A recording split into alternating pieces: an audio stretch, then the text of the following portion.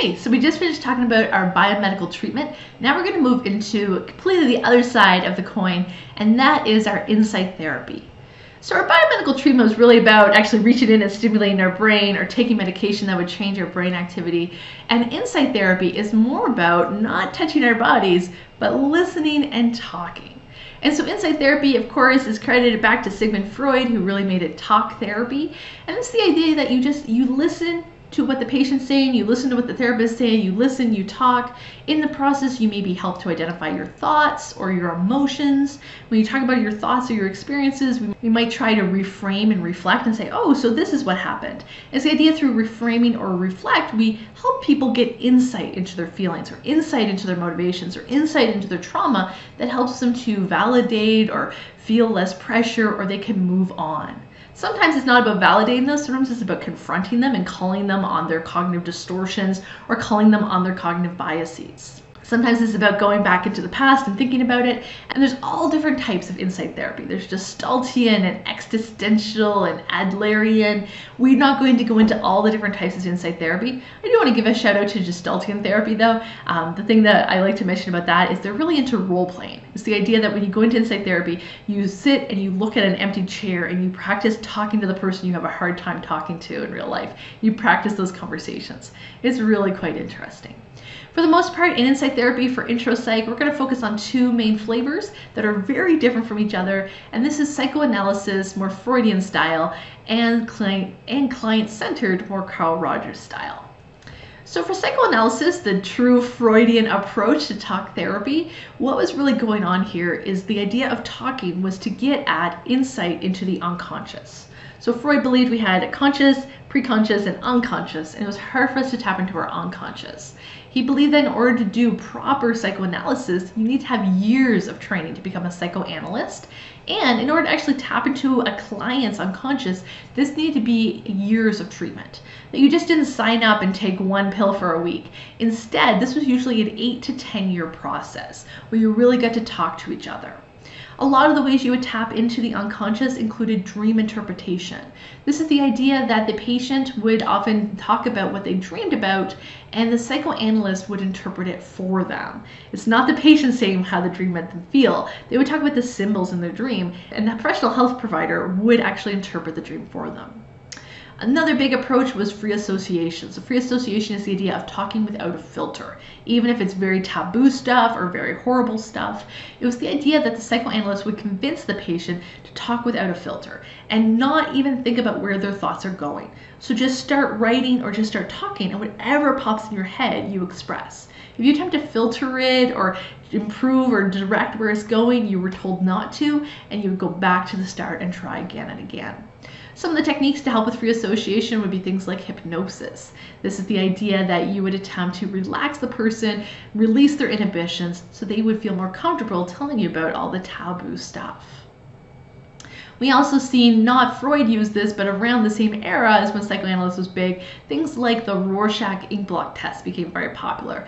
And this was a projection test where you looked at ink blots on a page and you were told to interpret it. And based on what you interpreted, this might tell what's going on in your unconscious.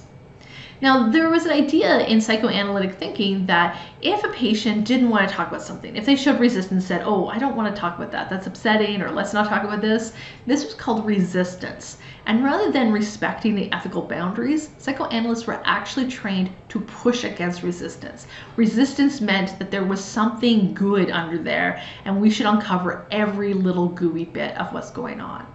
This often meant if somebody quit therapy midway through the process that they might have these open wounds that had not healed over and it might just open up lots of things before they can move on. It also meant that sometimes they felt really negative towards their uh, psychoanalyst. They felt really negative towards their care provider.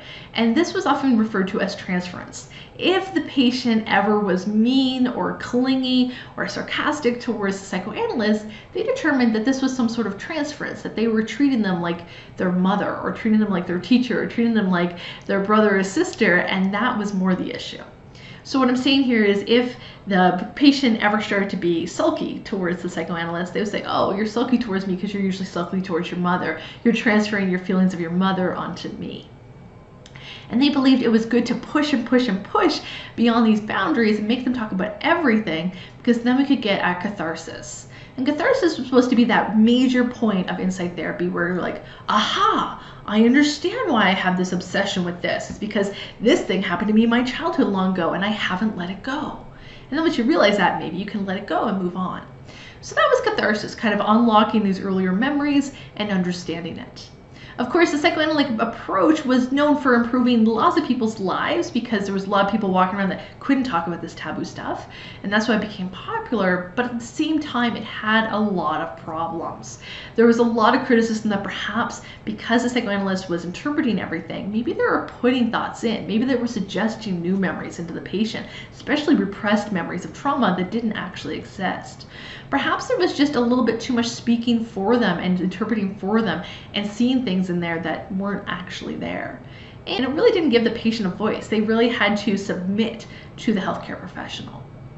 This is extremely opposite to the next approach we're going to talk, which is still an insight therapy, but rather than calling them patients, we tend to call them clients. And this is Rogerian, Carl Rogers therapy. It's known sometimes as non-directive therapy, person-centered therapy, or client-centered therapy, also sometimes called humanistic therapy. And this is completely different than psychoanalysts.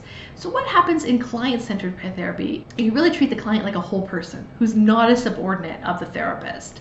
Instead, you see them as able to solve their own problems if they just believe in themselves. The big goal of client-centered therapy is self-acceptance and self-actualization. So, Carl Rogers believed that the goal of this therapy was to be extremely person centered. You focus wholly on the client. When they are there, you give them your undivided attention. So, the therapist isn't just scribbling and saying, uh huh, uh huh, uh huh. They're making eye contact, they're focusing, they're smiling, and you're very genuine, not fakely looking at them or fakely smiling. You're genuinely in touch with them and giving them your undivided attention. In addition to undivided attention, you give them unconditional positive regard. This means that no matter what they say, you don't judge them. Even if they're a serial killer, that's not your role to judge them. You are there to help them. And so the courts and the juries can take care of that. That's not your job. And so it's the idea if somebody's talking about an addiction or if they cheated on their spouse or, you know, if they did something very socially faux pas, you don't judge them on that. You're just there to help them as who they are. And so you show them a large degree of empathy and a large degree of authenticity. So you really let them know that you think they're capable of being a good person and you want to know where they're coming from. A big part about this is non-directed reflection. And so this is the idea that no matter what the patient says, you don't give them advice. If they ask you explicitly for advice, you say, well, what do you think? And so this is the idea that you go in and you give them a couple different possibilities of responses. You can parrot back exactly what they said. You can paraphrase what they said. You can summarize what they said, or you can just go, mm-hmm, mm-hmm. And so this is the idea of using active listening and support to just validate someone's experiences. This has been shown to be very effective in well-trained individuals. Carl Rogers is known for doing excellent therapy even with people with extreme mental health conditions. Someone who's on the brink of hurting themselves, for instance. He would validate and make them feel important. He's not necessarily encouraging them to hurt themselves, but he's listening to them wholly. And he believed in this situation, everyone will have the power to make the right choice for them. If only they feel supported, they'll be able to make the right choice. And so this is where Rogers was really going with it. Again, this peaked around the 1960s, and since then, most of the principles of Rogerian therapy has been adopted into other schools of thought. So a lot of time when you go and you receive therapy from a cognitive behavioral psychologist or a dialectical psychologist, you are getting client-centered packaged with other things. Some of the criticisms of client-centered therapy is because it's non-directed, if somebody generally hasn't learned the coping strategies or actually needs advice, it's not being given to them. And so the other schools of therapy believe sometimes sometimes we need to teach them things or sometimes we need to call them out on their cognitive distortions and that's not happening here. And so that's some of the criticisms of client-centered therapy. But that being said, client-centered therapy has been embedded in almost all other types of therapy moving forward.